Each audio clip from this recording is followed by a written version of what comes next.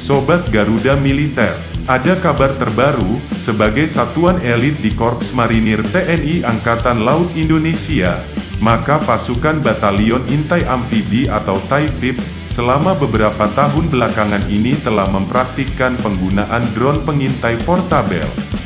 Sebelumnya, pasukan Taifib terlihat menggunakan drone dengan sistem peluncuran backpack SWG dan drone bak nano, Kini personel TNI AL Indonesia terlihat berlatih dengan pasukan marinir Amerika Serikat dengan drone intai Aerovironment RQ-20 Puma.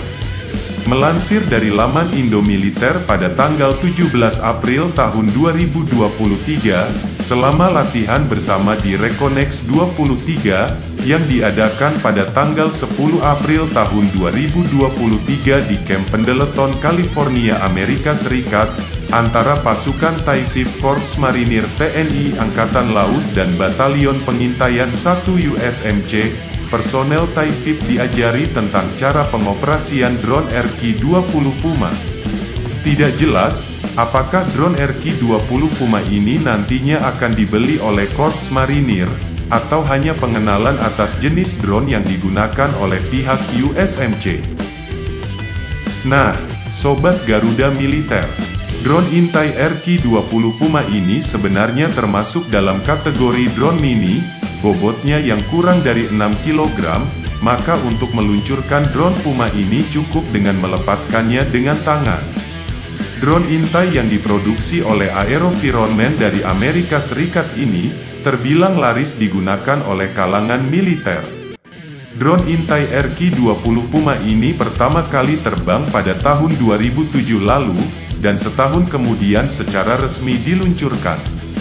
Dengan harga 250 ribu dolar Amerika per unit, drone Intai Puma ini tersedia dalam beberapa versi, termasuk versi Solar Puma dengan sel surya ultra tipis, yang memberikan drone ini mempunyai daya tahan hingga 9 jam. Lalu ada varian Puma LE atau Long Endurance, yang memiliki kapasitas baterai lebih besar sehingga mampu terbang selama 5,5 jam. Sebagai informasi, versi standar drone Intai RQ-20 Puma ini memiliki daya tahan 2 jam. Didukung oleh propulsi baling-baling mini, drone Intai Puma dapat terbang hingga jarak 15 km. Berbicara tentang kecepatan, kecepatan maksimumnya mencapai 83 km per jam dan kecepatan minimumnya 37 km per jam. Drone Intai Puma ini memiliki panjang 1,4 meter dan lebar sayap 2,8 meter.